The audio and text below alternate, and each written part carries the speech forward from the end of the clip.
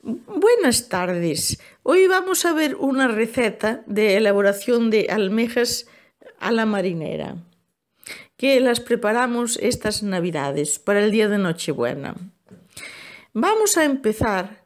Cogemos una cazuela muy grande y troceamos el pimiento rojo y la cebolla y un poquito de ajo y un poquito de perejil y sofreímos en dos cucharadas de aceite de oliva.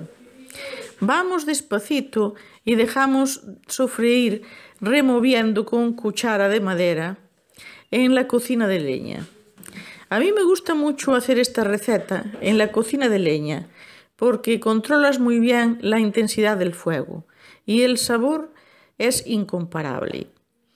Una vez que la cebolla, el pimiento rojo y el ajo están sofritos, añadimos un poquito de harina de trigo. Echamos esa harina y removemos hasta que esté bien rehogada con el aceite. Una vez eh, que está todo esto bien rehogado, empezamos a añadir vino blanco.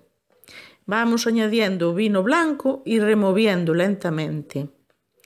Una vez que acabamos de añadir el vino blanco, añadimos el eh, caldo de pescado. Yo me reservé un caldo de pescado del día anterior y lo tenía reservado en la nevera. Este caldo era de unos mejillones, que también le da muy buen sabor.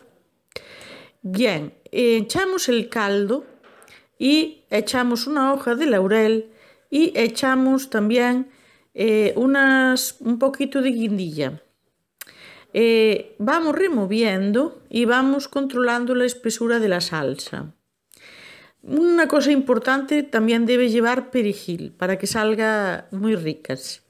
Le echamos un poquito de condifrán para que tome color. Y le echamos un poquito de pimentón picante para controlar bien el gusto. Es, y un poquito de sal. Es hora de empezar a probar, a ver si el sabor de la salsa es el correcto. Si no es así, estamos todavía a tiempo de controlar, sea por mucho o por poco.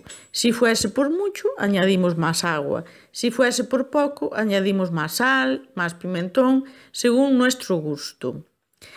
Y ahora, una vez que la salsa adquirió la textura adecuada y el sabor correcto, es el momento de echar las almejas a hervir. Las almejas se les debe dar una hervidura rápida para que abran sus conchas.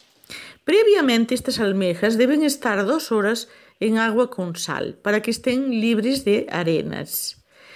Eh, se les da un hervor rápido en esta salsa y una vez que se abren ya es momento de retirar y poner en una esquinita de la cocina de leña para que se conserven. Este año nos han salido fabulosas. Os convido a todos que preparéis esta receta que sabe muy bien. Dale a like. Muchas gracias.